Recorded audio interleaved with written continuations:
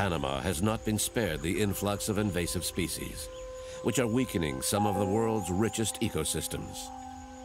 These ecosystems are home to nearly 50% of the world's amphibian species. Frogs occupy one of the most important niches in the food chain. They consume large amounts of harmful insects and serve as food themselves for many species of reptiles, birds, and fish. In the field of medicine, they have also led to the development of antibiotics and are important in cancer research. Over the past 250 million years, they have withstood many catastrophes affecting life on Earth.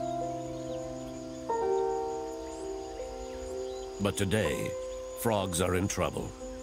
A mysterious disease is attacking them where their numbers are highest. To make matters worse, these frogs are also weakened by insecticides and habitat loss. In just a few years, over 100 species have gone extinct. A few years ago, biologist Edgardo Griffith used to come to this river to study frogs. I used to find 56 species of frogs around this stream alone. And now can't even can't hear anything. Really, you know. The cause of this sharp decline? An invasive species. A mysterious fungus called chytrid has invaded the rivers of Panama's mountains. The fungus arrived in 2005, killed 90% of the amphibian community, and in some cases 100% of the individuals of certain species. Came, kill, stay, and at the same time it's moving eastward, but it's also coming up from South America. Found in Mexico as early as 1972, the disease spread to Central America. Other infection sites have been found all over the world. Today, over a third of the world's 6,000 known amphibian species are threatened with extinction.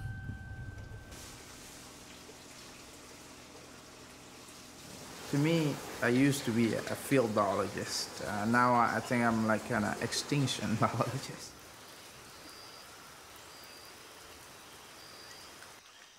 For scientists, time is running out. Edgardo and his colleagues are trying to capture living frogs in the hopes of learning more about the disease. They organize regular searches in Panama's rivers.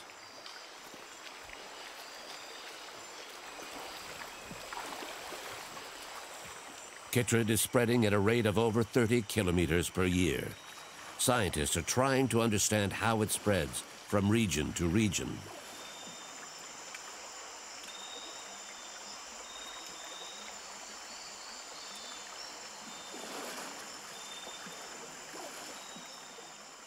When a species nears extinction in nature, scientists often have no other choice but to remove the few survivors from the wild.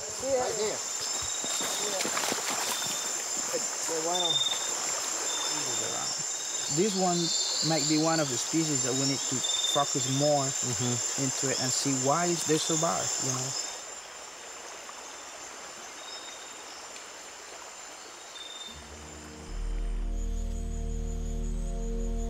The last remaining individuals of many frog species are today conserved in sterilized containers, isolated from the outside world, where the dangerous fungus threatens their survival.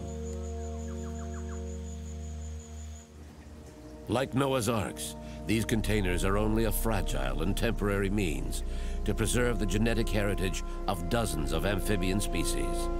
But this is the best that scientists can do. Some of them are not dealing with chytrid yet in their populations, but we know it's going to get there sooner or later. So we're trying to rescue as many as we can, try to breed them, try to keep them healthy. This might be the last one, so it's a huge responsibility for. Yeah.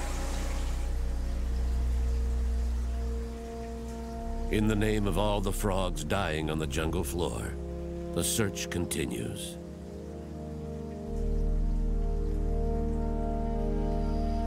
Long considered among the most ideal frog habitats, Panama's forests are now a real threat to their survival.